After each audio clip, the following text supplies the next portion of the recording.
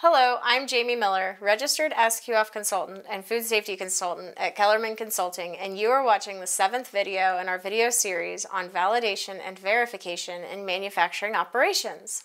In our previous episodes, we reviewed how to validate equipment in production settings and to link validation to verification records each time operations occur. There is one type of equipment that is uniquely difficult to apply the concepts of validation and verification to, and that is x-rays and metal detectors. There is good reason for the confusion as a result of how this equipment functions and how they are commonly treated in manufacturing operations. In order to understand how to properly validate a metal detector or x-ray, we need to first explain the challenges.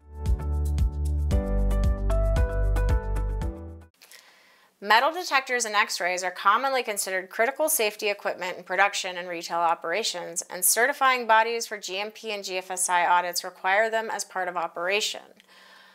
Wherever metal detectors and x-rays are required, they are usually designated as critical control points, which have special requirements for validation as part of HACCP or preventive controls.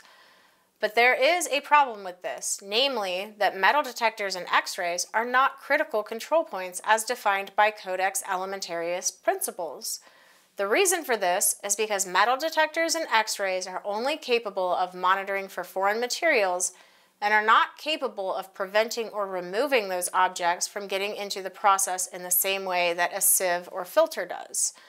Because metal detectors and x-rays are not barriers, validating their capability to identify foreign materials is not as clear as validation of measurements such as time and temperature. As a result, there are many different interpretations in the industry and there tends to be a lot of confusion.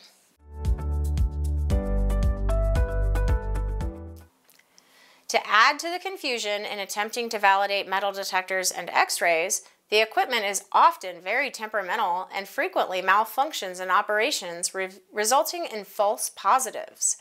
When false positives occur, there are simple practices most facilities use to evaluate potentially affected products, such as running through an alternate machine on site, but this also ignores the fact that any false positives are invalidating and demonstrates a possible larger issue for the foreign material monitoring equipment.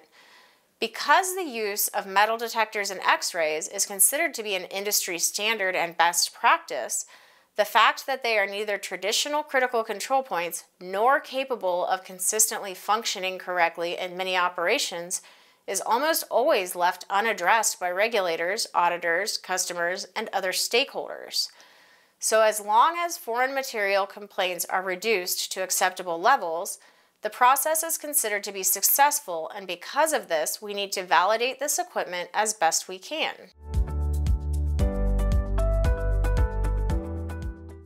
The practice of checking a metal detector or x-ray is performed by placing a sample foreign object on the conveyor system, running it through the aperture, and confirming that the machine properly identifies the object and rejects it, which both proves that the machine is working and that it is functioning as intended each time we check it. Simply said, we are performing both validation and verification each time we do a metal detector check. Kellerman Consulting has noticed many facilities will run test wands through the aperture alone. It is important to note that this is not appropriate for either validation or verification since it does not demonstrate that the metal detector or x-ray can find the object in the actual product, only that it can find the metal by itself. With that in mind, how we perform the check and how we document the check can be the difference between defining the action as either validation or verification. As we discussed in episode 5, validating a critical piece of equipment is performed by creating a validation report. Since metal detectors and x-rays are so confusing when it comes to validation and verification, it is very important to have a validation report for this equipment. For operations that run once through 20 or 50 times in a row to prove validation, you can stop doing that, as this is not actually a validation exercise, it is just checking the equipment a bunch of times in a row.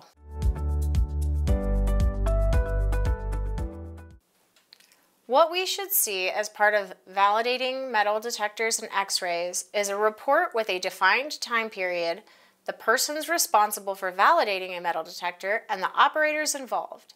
Next, we need to select the production material that is most difficult to metal detect in X-ray, which is usually the most dense product or most frequent product that we are going to perform checks on as proof of validation.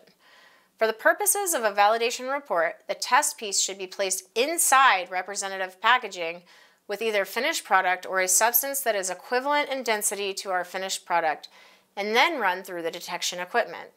The best practice for validation is to rotate the package and try running it through the detection equipment on different sides or move the test piece around the inside of the packaging to different locations. That would be toward the top of the packaging, toward the bottom, and then different sides within the finished packaging. By doing this exercise and documenting that the equipment could find the test piece all throughout the inside of the packaging, we are validating that we have the correct detection device for the products in the facility.